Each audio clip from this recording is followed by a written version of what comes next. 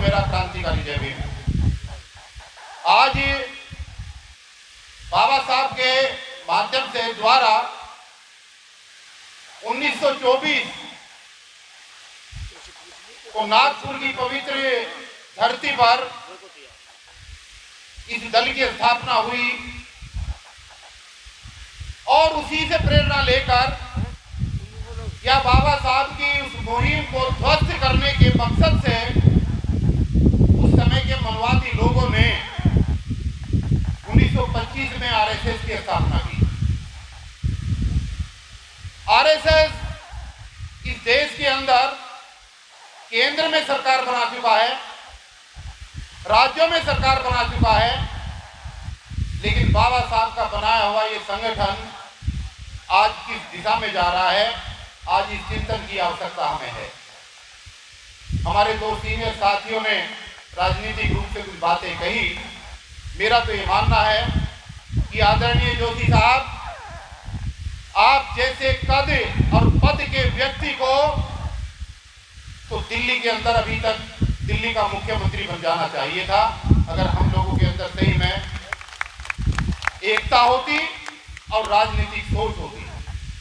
हमारे इतने सीनियर साथी, डॉक्टर सीपी सिंह जैसे साथी, जिन्होंने इस संगठन को सींचा ज़िले ज़िले जा करके एक बहुत बड़ा संगठन का स्तर बढ़ाया, रुतबा बढ़ाया, हमें इन मुद्दों पर सोचना चाहिए कि आज हमारे सारे सीनियर साथी अलग अलग दलों के अंदर उनको सींचने का जो काम कर रहे हैं तो हम अपने बारे में, अपनी राजनीतिक सत्ता के बारे में कब सोचेंगे और कब वो दिन आएगा, चाहे धर्म का क्षेत्र हो और चाहे सामाजिक संगठनों का हो दोस्तों।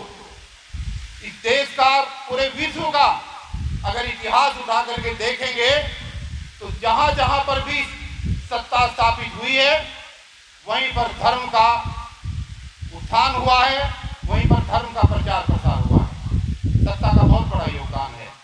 तो आज समता सैनिक दल के अट्ठानवे स्थापना दिवस के उपलक्ष्य में हमें चिंतन के रूप में ये स्वीकार करना चाहिए कि 1925 के बने हुए आरएसएस का आज 10 करोड़ मेंबर हैं पूरे देश में।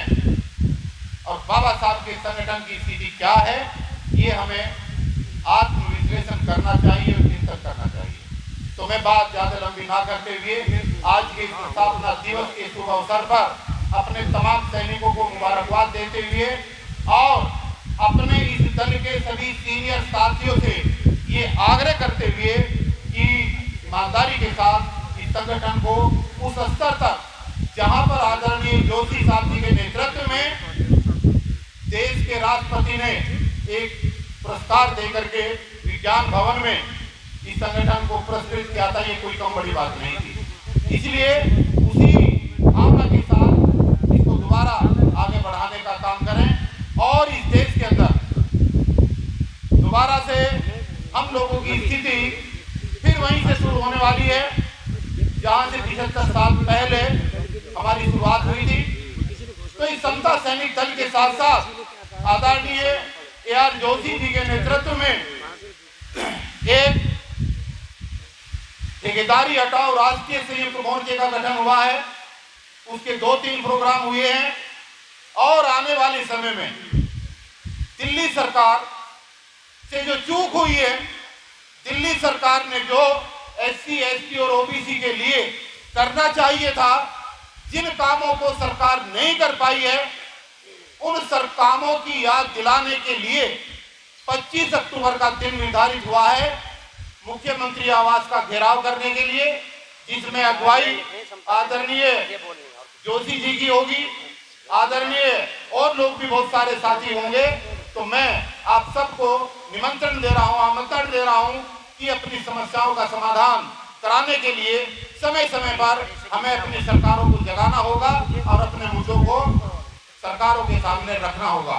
तो मैं साथियों को पुनः आज के स्थापना दिवस पर मैं हार्दिक बधाई देते हुए अपनी बात यहीं पर विराम करता हूँ। जय भीम, जय भारत।